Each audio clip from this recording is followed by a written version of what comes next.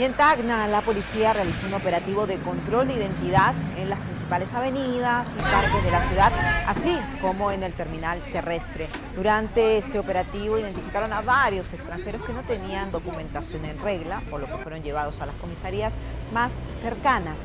Debido al problema migratorio que existe en la frontera con Chile, los migrantes han optado por cruzar de manera ilegal hasta llegar a la ciudad, donde permanecen hace aproximadamente un mes. Duermen en los parques, en los óvalos, en las áreas verdes, han instalado carpas y es difícil, es difícil porque los vecinos de Tacna también están padeciendo una situación compleja. Mientras tanto, la frontera continúa igual. Decenas de extranjeros de nacionalidad venezolana, colombiana, haitianos continúan varados esperando a que las autoridades solucionen esta problemática. La policía continúa con el operativo de control de identidad en Tacna. Nuestro corresponsal Andrés Vilca está en el lugar y tiene toda la información. Cuéntanos. Buenas tardes.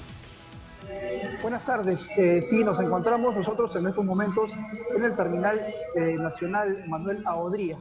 Eh, aquí eh, se han llevado operativos eh, por parte de la Policía Nacional, pero hasta estas horas de la tarde el panorama es normal, de normal atención al público, tanto pasajeros nacionales como los que llegan desde el vecino país de Chile, hacen su transbordo aquí en el terminal Manuel Odría de la ciudad de Tacna.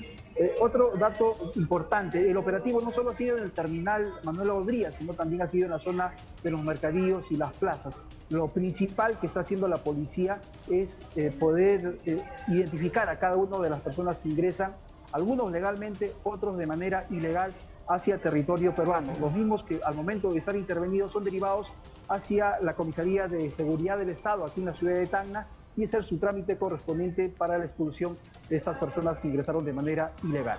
Andrés, quiero insistir en ese tema.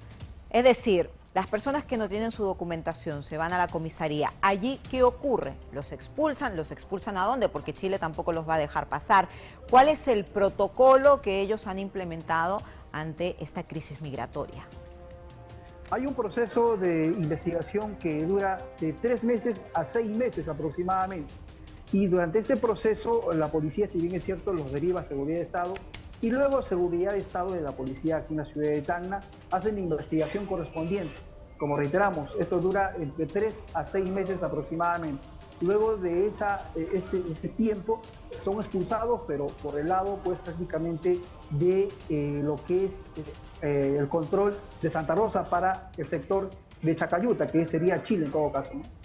Ok, ok, pero es decir, mientras dura el, proceso, se quedan en, Perú. ¿Hay albergues? ¿Cuál es eh, la operación? ¿Cómo están, digamos, funcionando? Porque hemos visto carpas en los parques, en los óvalos, se han apoderado muchos extranjeros de estos espacios públicos y eso genera también malestar entre los vecinos de Tacna.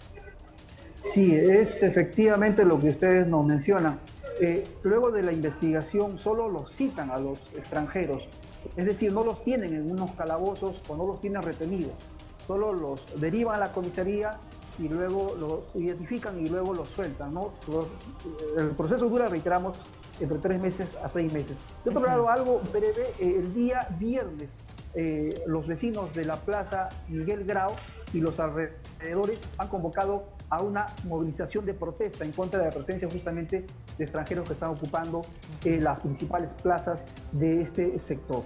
Vamos a estar atentos entonces a esa manifestación, pero lo que sí, Andrés, genera preocupaciones que si bien se sigue un proceso, pero ellos están libres y tienen la potestad de viajar a Lima, a cualquier región, están en territorio nacional y no están documentados. Es importante que también se pueda atender esta situación que ya se padece hace más de un mes aproximadamente. Te agradezco por tu reporte desde Tacna, muy amable.